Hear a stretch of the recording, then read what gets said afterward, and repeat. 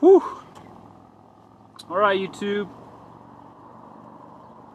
Ah, I just got my DD214.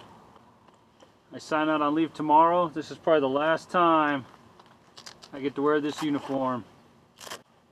It's been a fun ride. I'm actually going to miss some of it. So, it's been kind of a stressful, emotional last uh, several months. Just trying to line up my future and take care of things. It's been quite a ride. Just wanted to share that with you guys. Hey, I'm gonna go sign out on leave right now. It's like 5.20 in the morning. I'm excited for, uh, I got what, 60 days of leave. Finaled out of the Army yesterday. I got a lot of mixed feelings about it. I'm on leave I'm gonna go work out. It's done. Actually pretty excited. Leg day. Can't do squats because I broke my back. I can do the leg press.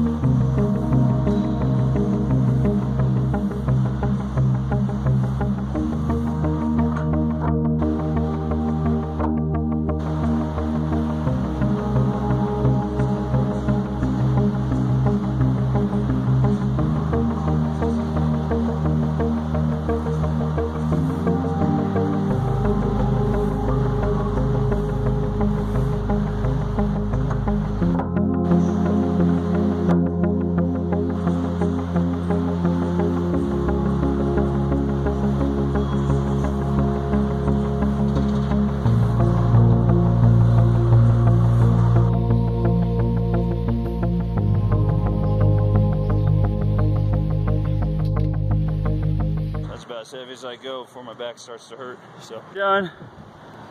Whew. Did some legs, went for a two mile run. Did like a couple sets of muscle ups. Check. All right, so I got a problem. And it has to do with sunglasses. You know, to hold them right, I feel like there's too much space right here. And I have an uh, above average nose. Got a nice big schnoz on me. And like I want it to sit maybe like so. But I mean, there's like quarter inch, half inch difference there. So when I try on glasses, man, it just, I don't know. If you got any good advice for glasses, maybe I should just grind it. And uh, maybe I'll take that nose piece out and it'll fit a little better. See if I take that nose piece out. It almost fits right, or better. Now these are military issue ballistic glasses, but it's a similar problem with all glasses. You know, maybe I can just grind it and take out the nose piece, but maybe that looks funny too. Anyway, you got a solution for this, let me know. You know, I'm cheap.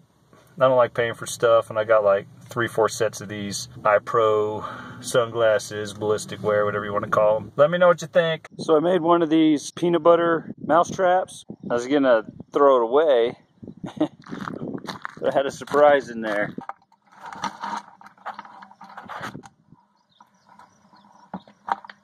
So we're gonna take care of that guy. I have chickens and I put it out there and every once in a while I catch something. I was totally surprised to see that in there. So I mean, sometimes they work. I haven't had much luck with the kangaroo mouse, field mice. They seem to uh, go after the peanut butter. They slip off. so, a little surprise for the day.